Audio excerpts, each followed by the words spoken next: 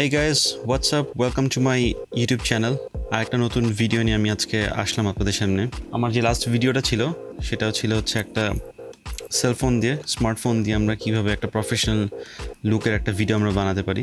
তো সেই ভিডিওটা আপলোডের পরে বেশ কিছু আমার কাছে রিকোয়েস্ট আসে, আমরা কীভাবে মোবাইলের মাধ্যমে এডিটিং করতে পারব ভিডিও অনেকের কাছে দেখা গেছে যে ডিএসএলআর ক্যামেরা আছে, আবার ল্যাপটপ বা পিসি আছে, যেটার মাধ্যমে তারা প্রফেশনালি ফটোগ্রাফি করতে পারে বা ভিডিওগ্রাফি করে এডিট করতে পারে পিসিতে আবার অনেকের আছে খালি একটা স্মার্টফোন তো পিসির অ্যাক্সেসটা হয়তো থাকে না বা সফটওয়্যার অ্যাক্সেসটা থাকে না বলে অনেক সময় তারা মনে করে যে আমি কি প্রফেশনাল কোনো ভিডিও মোবাইলের মাধ্যমে বানাতে পারব কিনা। তো তাদের জন্যই আজকে একটা ভিডিও নিয়ে আসলাম যে মোবাইল ফোনের মাধ্যমে এবং যেসব অ্যাপ অ্যাভেলেবেল আছে প্লে স্টোরে সেই অ্যাপ দিয়ে কিন্তু আমরা একটা প্রপার ভিডিও আমরা বানাতে পারি। এবং সেই জন্যই আজকে ভাবলাম যে একটা এপিসোড বানাই, যেটাতে আমি আজকে সুন্দর করে দেখাবো যে আমি যে, আমার যে পার্সোনাল যে ফেভারিট অ্যাপটা আছে সেই অ্যাপ দিয়ে আমি কীভাবে ভিডিও এডিটিং করতে পারি? তো তার আগে আমাকে কিছু শর্টস নিতে হবে, অবশ্যই। নতুন নতুন কিছু শর্ট নিব।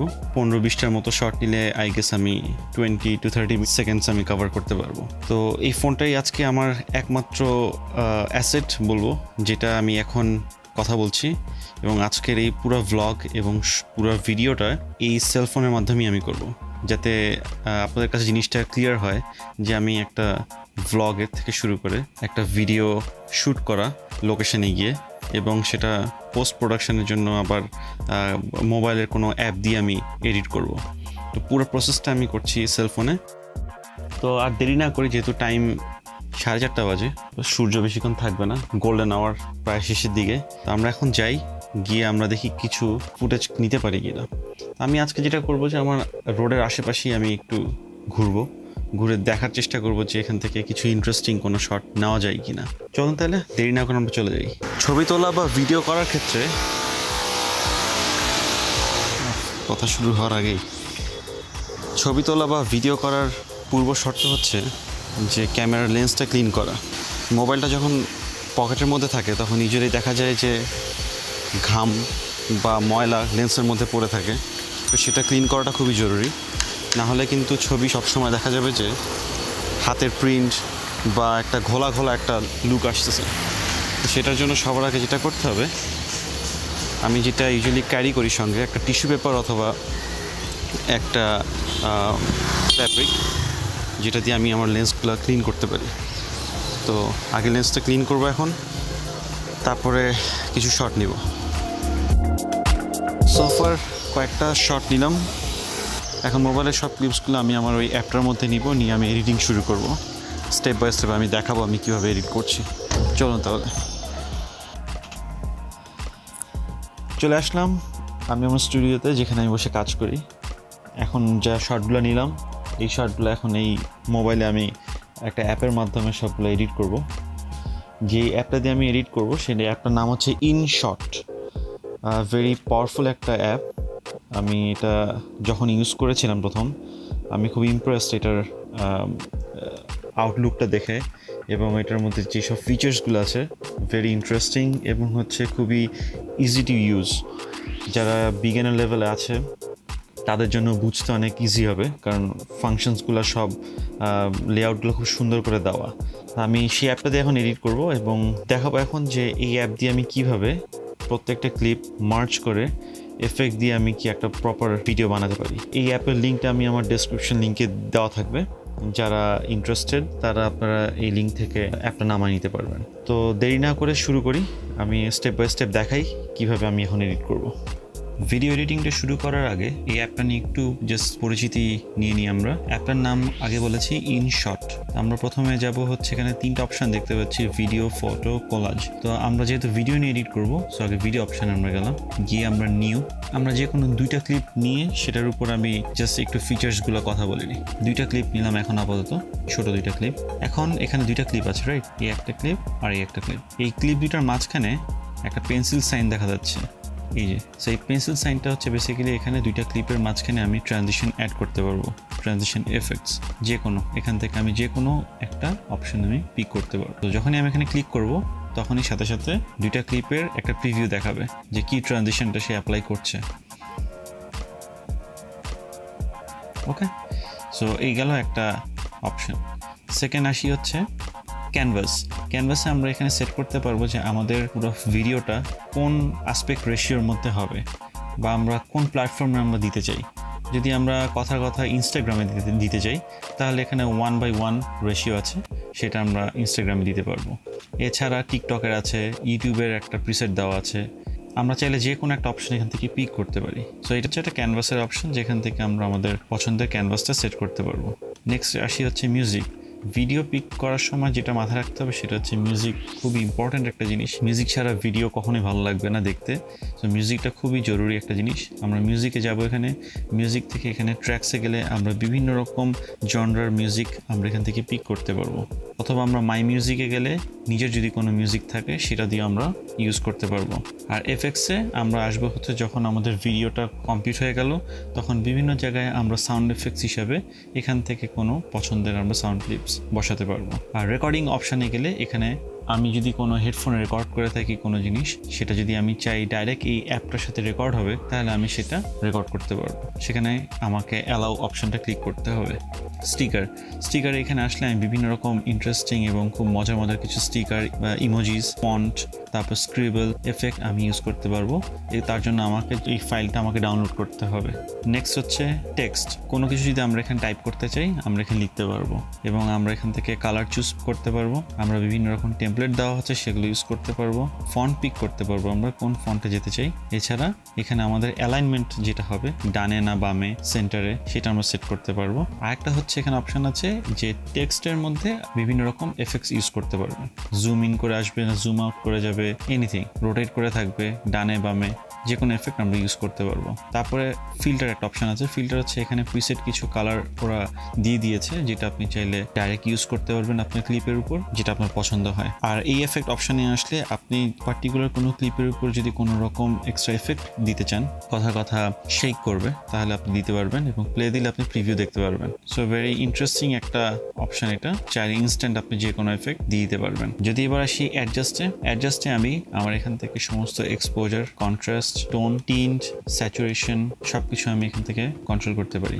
লাইট যদি বেশি লাগে, কমাতে পারব, কম থাকলে বাড়াতে পারব। কন্ট্রাস্টের ক্ষেত্রেও সেম শ্যাডো শ্যাডো যদি মনে হয় যে আমি একটু বেশি চাই বা কম চাই, সেভাবে আপনি এটাকে ব্যালেন্স করতে পারবেন। প্রি কাট এখানে একটা অপশন দিয়েছে যে কীভাবে কাট করতে পারবেন আগে এবং পিছিয়ে ইন অ্যান্ড আউট তো একটা ক্লিপের ইন অ্যান্ড আউট অপশন যদি আপনি সেট করতে পারেন, সেভাবে আপনি এটাকে ক্রপ করতে পারবেন। জুম সিলেকশনে গিয়ে আপনি এটাকে জুম করেও করতে পারবেন। আর যদি চান যে ইন অ্যান্ড আউট খালি অপশনটা নেবেন, মাঝখান থেকে কোনো পার্ট বাদ দিতে যাচ্ছেন, সেই ক্ষেত্রে কাট অপশনটা কাজে দিবে। আর স্প্লিটের ক্ষেত্রে যদি দুই ভাগে ভাগ করতে চান, মাঝখান থেকে জাস্ট যে পয়েন্টটা কাট করতে চান, সেই জায়গায় এই গ্রিন পয়েন্টটাকে রাখলেই কাট হয়ে যাবে।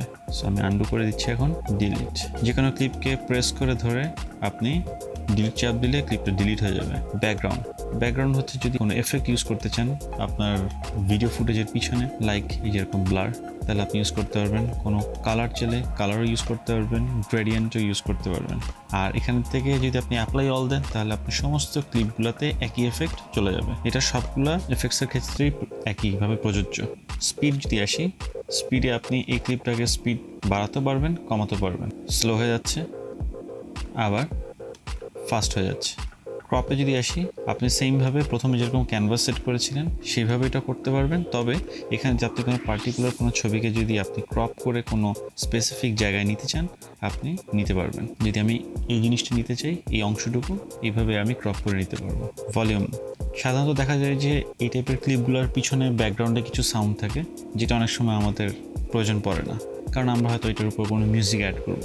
সেই ক্ষেত্রে এটার ভলিউমটাকে একেবারে কমায় দেওয়া ভালো, তাহলে এটার উপর যে মিউজিকটা বাজবে, সেটা ক্লিয়ারলি শোনা যাবে। ডুপ্লিকেটে যদি আসি, একই ক্লিপ দুইবার আমরা নিতে পারব। সেম জিনিস ডাবল ক্লিপ এটা অনেক সময় কাজে দেয় ভালো যখন আমরা রিভার্স কোনো এফেক্ট ইউজ করতে চাই। এই সাইকেলটা এইভাবে এসে আবার ঠিক জাস্ট রিভার্স করবে। সেক্ষেত্রে আমরা এফেক্টসে গিয়ে এটাকে রিভার্স অপশন দিলেই এটা রিভার্স হয়ে যাবে। রোটেটে গেলে আমরা যে কোনো ছবিকে ninety degree one eighty degree যে কোনোভাবে আমরা এটাকে রোটেট করে দেখতে পারি।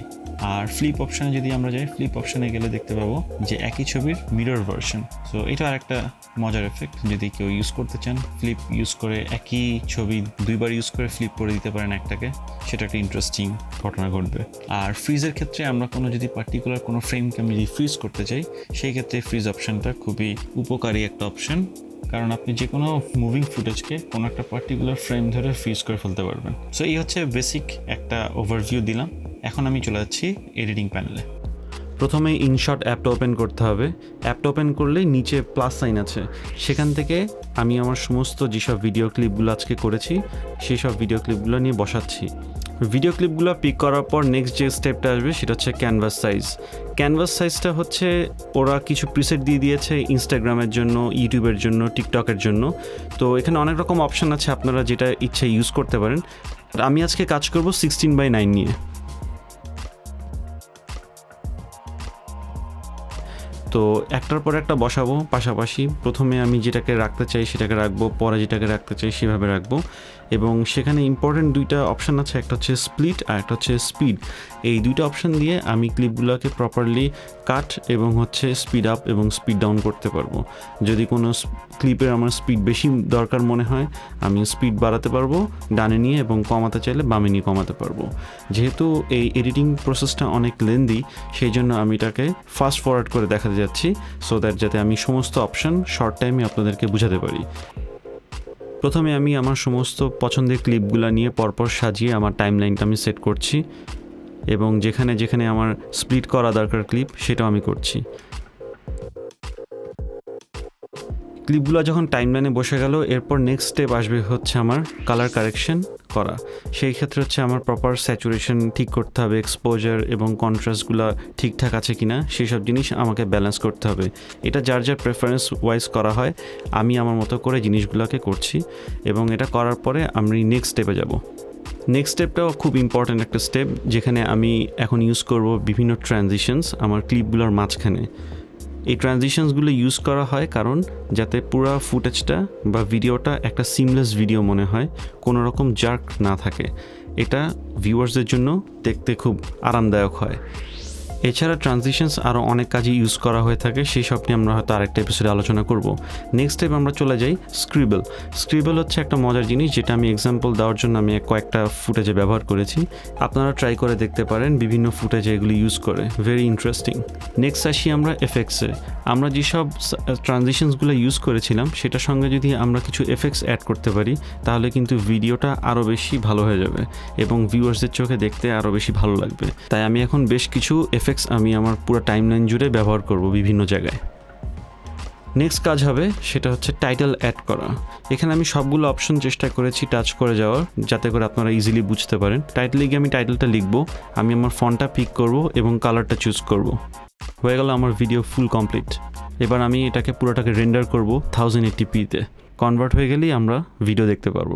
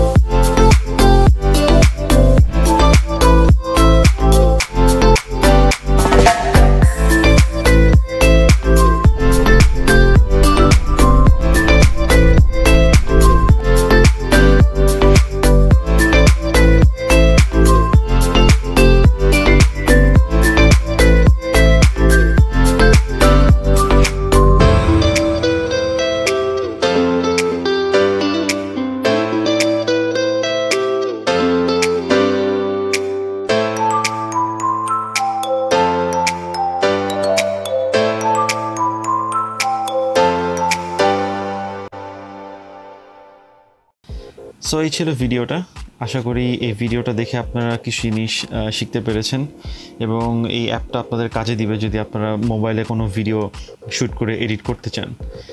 আর হচ্ছে থ্যাঙ্কস টু দ্য কিডস যারা আমাকে এই ভিডিওতে হেল্প করেছিল, আমি তাদেরকে রিকোয়েস্ট করেছিলাম যে ভিডিওতে যদি তারা কিছু পার্টিসিপেট করে, আমি একটা ছোট ভিডিও বানাতে পারি। তো তাদের এই ভ্যালুয়েবল টাইমের জন্য তাদেরকে অনেক অনেক thanks they R great kids amazing তারা খুব জোস করে আমাকে সাপোর্ট দিয়েছে এবং এই ভিডিওটা তাদেরকে ডেডিকেট করছি আমি। আর যদি কোনো রকম কোনো কিছু জানার থাকে আপনাদের ফটোগ্রাফি ভিডিওগ্রাফি অথবা মিউজিক রিলেটেড কিছু নিয়ে, আমাকে নিচে কমেন্ট সেকশনে কমেন্ট করতে পারেন। আমি আবার নেক্সট এপিসোডে সেটা নিয়ে কোনো কিছু একটা এপিসোড বানাবো। So till then take care hope to see you again bye